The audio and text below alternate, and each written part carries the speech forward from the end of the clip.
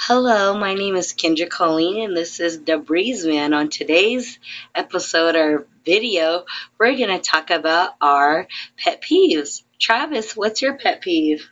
My biggest pet peeve is that when like um, people would be outside with their with their children and they look like they look like Bomb B having like a five hundred dollar outfit, and then their their kids look like Rice Krispie treats, you know, look all messed up and jumbled together.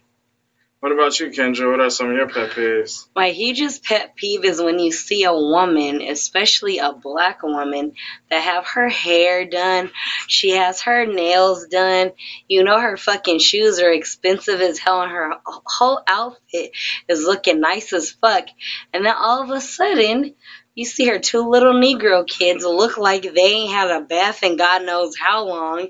And then the boy just looks even worse than the girl. It's like you couldn't wash their hair. And I feel as a parent that your children should look better than you.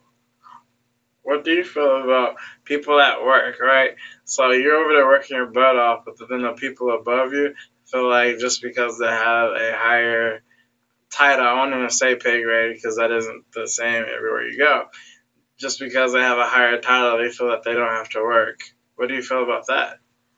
Well, then that makes me believe that they only got the position because they brown nose and truly don't know what they what they're doing and then they seem lazy. They're doing it just for the money, but people that truly work hard and have a passion for whatever it is, mm. they get work the fuck out constantly while the lazy bitch over there is not doing nothing.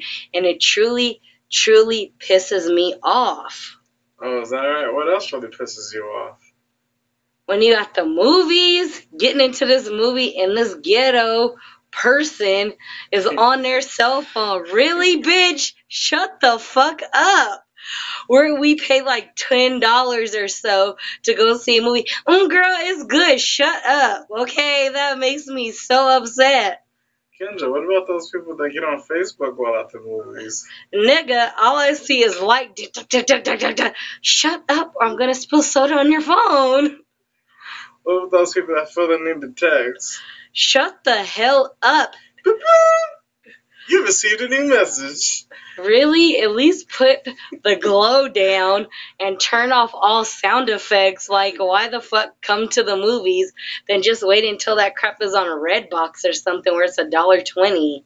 What do you think about when you're at church and somebody's phone goes off and the pastor says, "Don't pick that up unless it's Jesus," but they pick it up anyways, knowing it wasn't Jesus?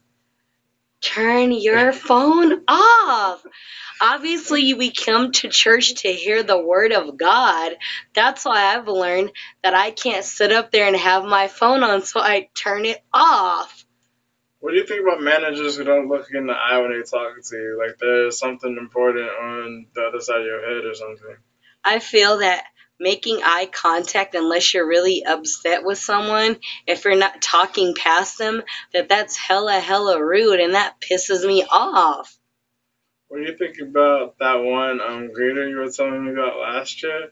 That that that told that told that one lady oh did you have twins? And because she didn't think that someone would have sex with her twice.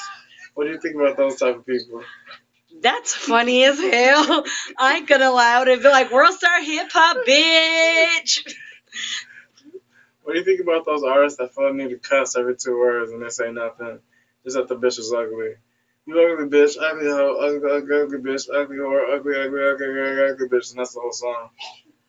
Pretty much, our music is a piece of fucking shit. I can't stand anything really past about 1999. There's certain artists but rap is crap now. It's like, why do you get discovered or you're lazy or an artist has been in the game for a long time, I won't name any, but been in the game for a long time, have excellent music, and then because they feel like, oh, I'm the shit, they give us crappy music, and these people buy the shit like it's nothing. Home still.